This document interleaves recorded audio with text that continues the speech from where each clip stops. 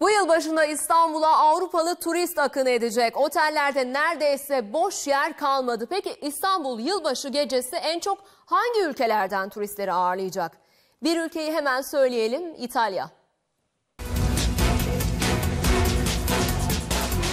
Şimdiden otellerde yer kalmadı çünkü yabancıların yeni yıl tercihi Türkiye oldu. E, Bizim otelimiz dahil bütün oteller şu an %100 dolulukla e, hizmet vermekte. Ee, Bizim e, şu anda profilimiz biraz daha Avrupalıya doğru kaymaya başladı. Uzmanlar yerli turistin elini çabuk tutmasını istiyor çünkü yılbaşı gecesi otellerde yer bulamayabilirler. Zira Özellikle Taksim bölgesindeki otellerde yılbaşı öncesinde tüm odalar neredeyse dolmuş durumda. Önceki yıllara göre gelen turistlerin profilinde de önemli farklılık var. genelde e, Arap ülkelerinden gelen turistleri görüyorduk. Ancak bunun değiştiğini görüyoruz. Genelde Orta Doğu olmakla beraber şu an Yunanistan'dan e, çok yoğun taleplerimiz var.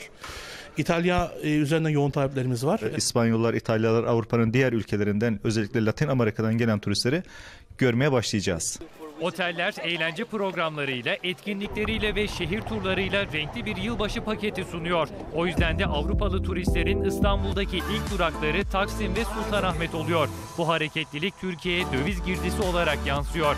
Burası Taksim'de bir otelin lobisi. Turistler otele giriş yapmayı bekliyor. Onların bavulları da burada. Geçtiğimiz yıl bu otelde çift kişilik bir oda 75 euroydu ama şu anda 100 euro. İşte buna rağmen yoğunluk had safhada.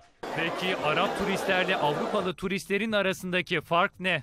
Arap misafirlerimizin harcamaları tabii ki de şehir içinde e, harcama yaptıkları için her zaman yüksek görünebiliyor.